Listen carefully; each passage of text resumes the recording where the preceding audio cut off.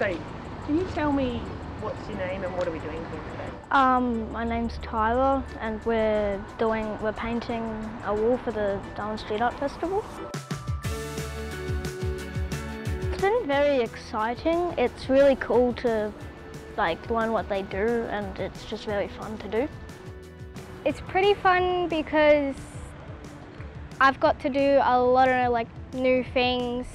Learned that it's very hard to do spray painting at first. If you mess up, you just gotta try and try again.